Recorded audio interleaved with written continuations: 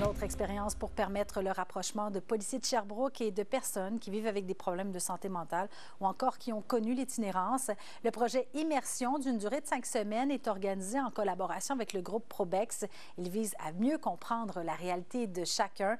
La capitaine au projet spéciaux, Guylaine Perron, parle déjà d'un grand succès. Ici, c'est un atelier où est-ce que le groupe Probex amène des usagers travailler pour leur permettre de devenir autonomes et de se développer. Et mes policiers sont avec eux. Depuis ce matin, ils font le même travail qu'eux. Ils les côtoient. Il y a de l'échange qui permet aux bénéficiaires de, de, connaître davantage le policier sans son uniforme, en civil, dans un autre environnement. Et ça permet aux policiers aussi de, de connaître davantage ces gens-là qui vivent des différences. Oui, on a, on, a, on a, appris ça sur l'heure du midi, que ça a fait compte des policiers.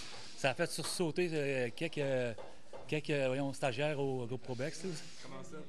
Ben, c'est parce qu'il y a des fois, ils ont des mauvaises expériences avec la police. Fait que ça n'a pas été. Euh, ça a été drôle, disons. Super intéressant.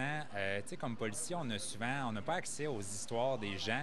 On a juste, euh, on intervient quand ils sont en crise habituellement.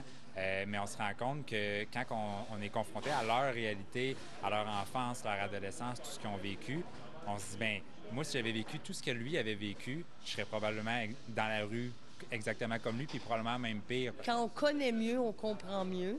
Alors, avec l'expérience qu'ils vont avoir tirée de leurs cinq semaines, ils seront mieux outillés pour intervenir lorsqu'ils auront à intervenir avec ces clientèles-là. C'est ça qu'on recherche, le côté humain plutôt, là.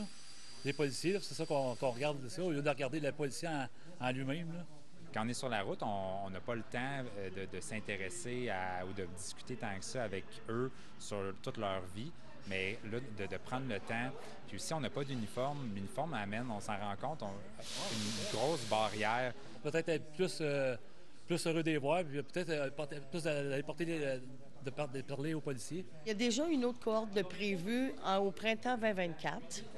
Et par la suite, on verra comment on pourra assurer une pérennité. Elle sera peut-être pas d'une cinq semaines, ça sera peut-être transformé. Mais oui, il y a des éléments qui sont des incontournables